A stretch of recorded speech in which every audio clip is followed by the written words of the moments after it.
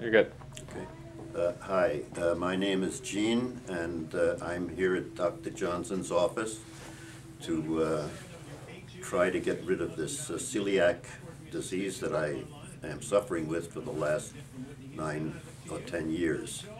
And it just also causing uh, this dermatitis condition on my skin, which is an example on my elbows and also on my back. And uh, And you get it on your legs. and you on get my it- legs also. How long have you had the problem? Uh, more than nine years. How long have you had um, celiac? Or- Uh, just about the same amount of time, basically. And uh, the other day I went to a restaurant and uh, had some gluten, and today I'm suffering from it uh, as far as stomach problems.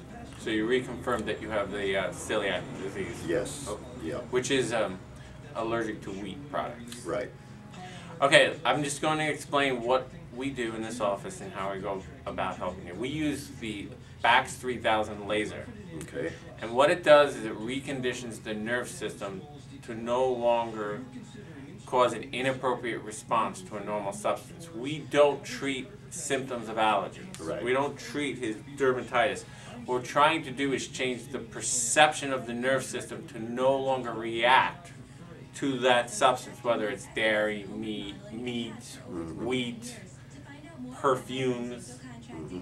So we don't treat the condition of the patient, we treat the patient who has the condition. And we're getting wonderful results. very good. Okay, so we'll get back to you and we'll see how okay. patient does.